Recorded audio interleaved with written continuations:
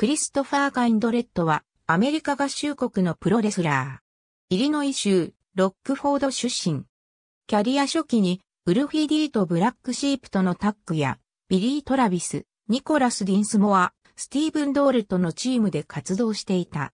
1999年には WWE マンデーナイトローや WWE ショットガンサタデーナイトでジョバーとして試合をしていた。また NWA ティネでも活動し、キャリア初期の元パートナーも所属するザ・ディサイプルズ・オブ・ザ・ニュー・チャーチの一員として活動していた。 TNA 離脱後はスラッシュベノムのリングネームで IWA プエルトリコに参戦している。2005年に短期間だけ ROH に参戦している。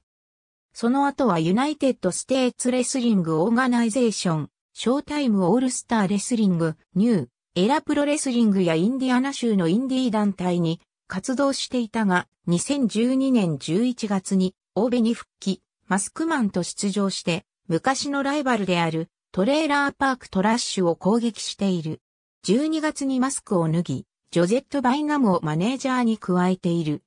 2013年にオベ TB 王座を獲得したことにより、一時期ヘビー級王座、TB 王座、タッグ王座の三冠王になったが、9月にイライジャバークにタイトルを奪われている。ありがとうございます。